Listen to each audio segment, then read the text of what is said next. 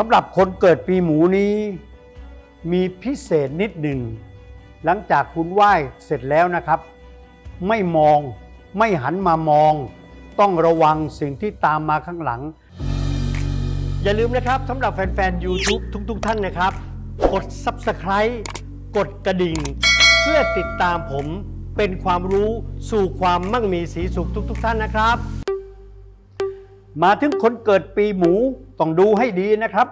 คนเกิดปีหมูเจอแปะโฮแปะโฮคือเสือขาว เสือขาวนี้มันมากระทบทำให้ดาวเจ็บป่วยนั้น มีกำลังจี้ป่วย ดาวทรยศหักหลัง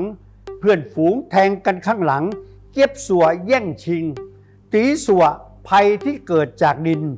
ดาวนี้ร้ายมากนะครับไหว้เสือขาวนะครับ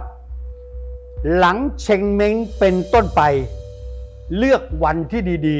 ๆนะต้องวันดีนะครับ ถึงจะมีพลัง จัดของไหว้ทางสามแพร่ง หลังสามทุ่มเป็นต้นไปข้าวสวยหนึ่งกระทง ไข่เป็ดต้มหนึ่งฟอง ปลาหมึกต้มหนึ่งตัว และหมูสามชั้นหนึ่งชิ้น จัดเป็นกระทงสวยงาม ทูบ13ดอก น้ำสิงหนึ่งขวด ไปจัดวางไว้ที่ทางสามแพร่งเหมือนกันอ่าตรงนี้นะครับ อย่าลืมสำหรับคนเกิดปีหมูนี้ มีพิเศษนิดหนึ่ง หลังจากคุณไหว้เสร็จแล้วนะครับ ไม่มอง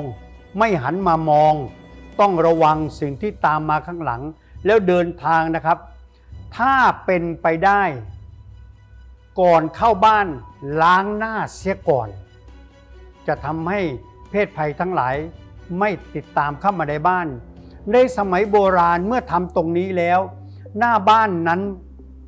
เขาจะมีจุดไฟวางไว้หน้าบ้าน ให้เราเดินข้ามกองไฟแล้วเข้าบ้านสำหรับการไหว้เสือขาวตัวนี้นะครับ อย่าลืมวันรุ่งขึ้น ซื้อลูกชิ้นปิ้ง ไปให้หมาตามวัดจรจัด คุณจะมีเพื่อนดีๆ เข้ามาช่วยเหลือทำแล้วเฮงโชคดีทุกคนครับ เอาละครับ แล้วอย่าลืมพบกับผมได้ใหม่ในคลิปต่อไปนะครับ อย่าลืมกดติดตาม กด Subscribe กดกระดิ่ง และกดแชร์ ช่องของผมที่ข้างล่างนี้นะครับ ขอบคุณครับ